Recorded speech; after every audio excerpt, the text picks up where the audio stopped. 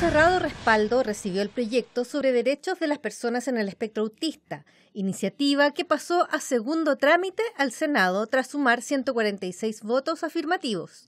El objeto del texto es velar, garantizar, promover y proteger, en igualdad de condiciones, la inclusión social de las personas en el espectro autista.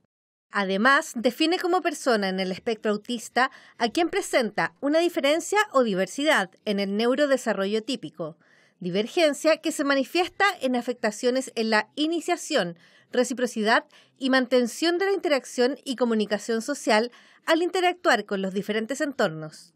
Igualmente, se caracteriza por la presencia de intereses intensos y repetitivos, adherencia a rutinas y conductas.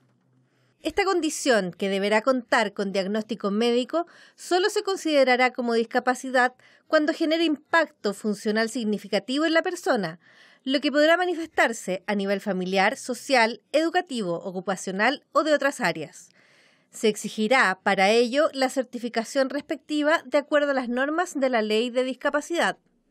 En la aplicación de esta ley se dará cumplimiento al principio de neurodiversidad, conforme al cual la mera presencia de la citada condición no será considerada una patología, sino que parte de la diversidad humana.